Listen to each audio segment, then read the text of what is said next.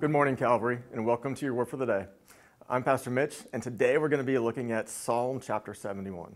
In Psalm 71, it's a great reminder of how we can draw on our past experiences of God's grace and mercy to give us the faith and hope that we need for the present and the future.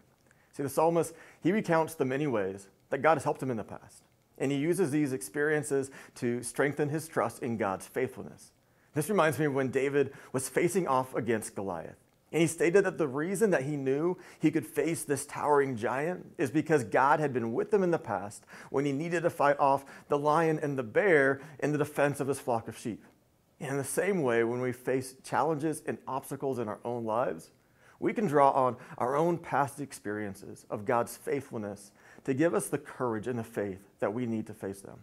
We can look back on times when God has provided for us, when He's protected us, when He's guided us in the past, and then we can trust that God will continue to be with us in the present and the future. So let's, let us use those experiences to strengthen our faith and trust in God's goodness and faithfulness as we face whatever challenges lie ahead. Thank you for tuning in to your Word for the Day. Like and share this video, and we will see you tomorrow.